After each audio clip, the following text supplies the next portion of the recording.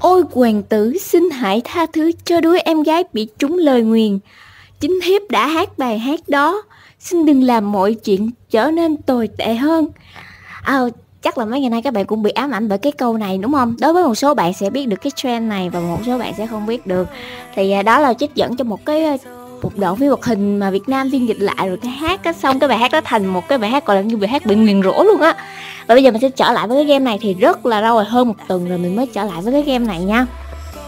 Thì cái con số rebirth của mình đạt được là 117 ngàn mấy rồi.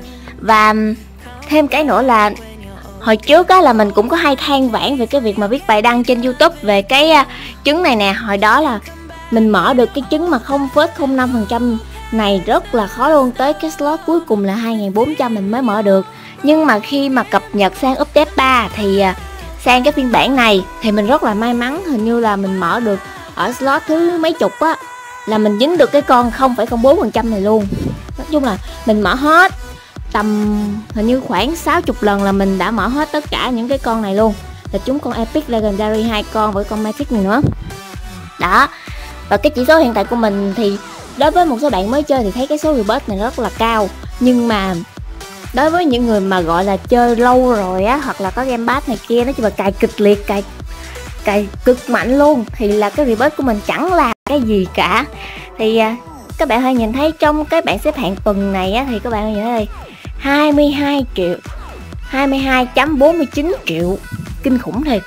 Trong khi đó mình chỉ là mới một trăm mấy ngàn thôi không là gì cả uh, để mình reset lại mình để mình về cái nhà của mình. Tại điện thoại mình quay rất là lắc luôn các bạn có thể nhìn thấy là nó nó rất là chậm. Cho nên là cỡ này thứ nhất là mình không có video là bởi vì không có ý tưởng. Cái thứ hai là cũng không có nội dung gì quay. Cái thứ ba là vật phẩm này kia thì cũng chưa có cập nhật thay đổi gì cả. Đó thì bây giờ mình cho các bạn xem test của mình nhé. Thì mình chỉ được một con này thôi và nó đang ở level 10 và kiếm được ba trăm mấy triệu. Này là mình nói theo kiểu gọn gọn thôi chứ thật ra cái con số nó khá là lớn. Đó, mình dính được hai con ờ, legendary này. Xong rồi mình cũng Sydney rồi. Hình như mình chưa có đề cập với các bạn là tại vì mình chưa có làm video, mình đâu có làm video đâu, đúng không? Thì lúc trước là Sydney xong rồi năm con Sydney thì các bạn sẽ lên. Cái con ngôi sao này thì nó sẽ tỏa sáng ngôi sao các thứ. Mình nghĩ là cái thời điểm mà mình quay cái game này nó cũng gọi là lỗi thời hay sao rồi. Tại vì cái game này không được chuộng cho lắm. Nó không chuộng như game Speedrun hay là Pet Simulator kia. Này, nó khác hoàn toàn. Nè, mình được rất là nhiều con legendary màu xanh này luôn. Mình dư sức, nếu mà mình còn một con nữa thì mình sẽ City được nữa. Sydney hai con, nhưng mà thôi, mình để dành. Tại vì nếu mà Sydney ra thì nó sẽ bị mất giá trị hơn so với việc mà các bạn Sydney thì Sydney là các bạn sẽ bị mất 5 con. Trời, mà không biết mình nó lan man quá, các bạn hiểu không nữa? Thật ra thì đó nói về việc quay video. Lúc trước á, là do bản thân mình kiểu như là bắt buộc là phải mỗi ngày mỗi ngày thì có video cho các bạn xem á. Còn bây giờ là mình cảm thấy là mình cần phải nới lỏng ra, tại vì không làm video thì mình cũng cảm thấy khá là có nhiều việc để làm. Thứ nhất là mình săn thú săn thú trong discord á. Xong rồi cỡ này mình đang suy nghĩ để thay đổi lại cái quy tắc và một số thứ trong Discord nữa. Thì mình thường là mình on trong Discord rất là nhiều luôn. Thì um, các bạn có thể tham gia vào năm chạy Discord gà và may. À, mà nói trước là cái quy tắc nó khó lắm cho nên là đối với bạn nào mà hay nói tục này kia là vào là khó mà tiếp tiếp uh, sao ta tiếp xúc được nhiều. Thế nhưng mà từ từ các bạn sẽ quen à. Đó rồi thêm cái nữa thì mỗi ngày mình vẫn đua xe Zimpit nè.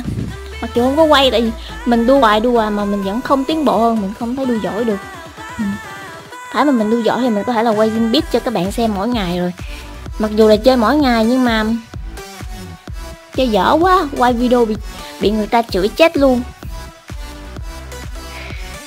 À, mình nghĩ là cái video này đến đây được rồi tại vì nhớ các bạn quá. Nếu mà viết bài đăng thì chỉ một số bạn là chỉ mới mới sao ta?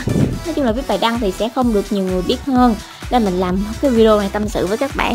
Thì đối với bạn nào mà biết dùng Discord thì cứ vào năm chạy gà và may.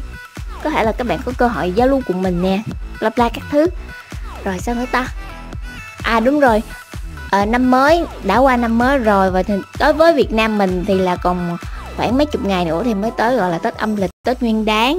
Thì à, nói chung là chúc mọi người một năm mới à, uh, 2020 thật thành công vui vẻ và gặp nhiều may mắn à, và cảm ơn mọi người đã xem video này và có vẫn câu nói cũ có cập nhật thông tin vật phẩm gì mới thì mình sẽ làm video. Các bạn hãy đăng ký cũng như nhấn chuông để có thể ra những cái video của mình thì có thể các bạn nhận được thông báo nha. Tại vì cái này mình rất là ít ra video khi nào mà có nội dung gì thì mình mới quay thôi. Nên là có thể là cái video số lượt ờ, số lần mà video ra nó rất là thưa thớt trong một tuần hoặc là một tuần chẳng có gì cả và nếu mà các bạn có lời gì mà muốn nhắn gửi tới mình thì các bạn hãy để comment trên youtube nhé mình thấy được mình sẽ phản hồi với các bạn và thả tim. Bye bye!